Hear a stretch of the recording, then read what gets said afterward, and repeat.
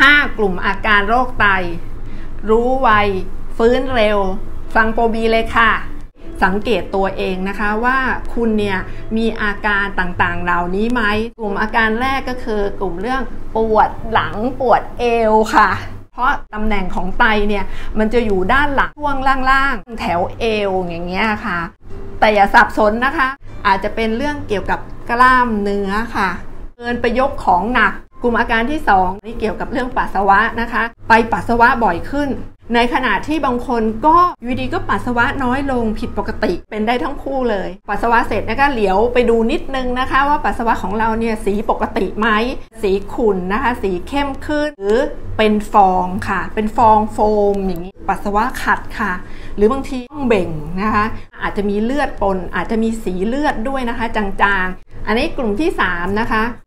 ของเหลวที่ข้างค้างอยู่ในตัวเราค่ะ ก็จะมีอาการบวม ตามขาตามตัว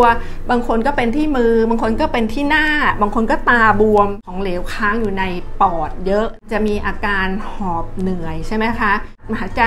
ไม่เต็มปอดแบบนี้นะคะไตไม่สามารถปรับสมดุลของเหลวในร่างกายได้ กลุ่มอาการที่ 4 นี่คือของเสียข้างค้างอยู่ในเลือดนะคะ ถ้าไตเสื่อมเขาไม่สามารถกรองของเสียของน้ำเลือดเราได้เนี่ยของเสียก็จะวนอยู่ในเลือดของเรา ในร่างกายของเรา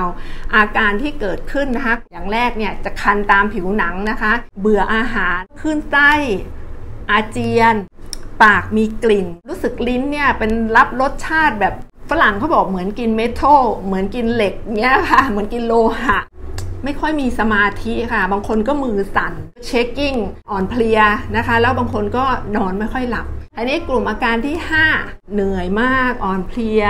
ง่วงนอน ไม่มีแรงจะทำอะไรเลยอย่างนี้ทำอะไรไม่ไหว เนื่องจากโลหิตจางนะคะ จากไตเสื่อมไม่สามารถจะผลิตฮอร์โมน ออกไปสร้างเม็ดเลือดแดงได้นี่เอง ถ้าคุณมีกลุ่มอาการนะคะต่างๆ เหล่านี้เนี่ยนะคะ ก็ให้สงสัยไว้ว่าไตเสื่อมหรือเปล่า